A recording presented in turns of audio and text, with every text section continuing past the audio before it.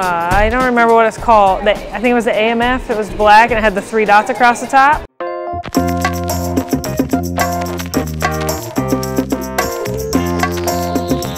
Runt.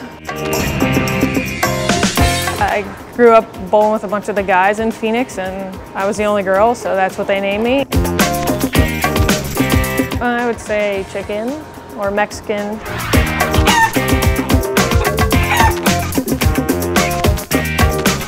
I think I've had them all at some point, but um, I like to play Madden. Not great, but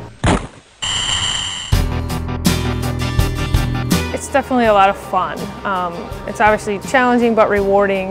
Obviously having her being out here every week, she's you know made some friends with all the other girls and she's had a blast all summer.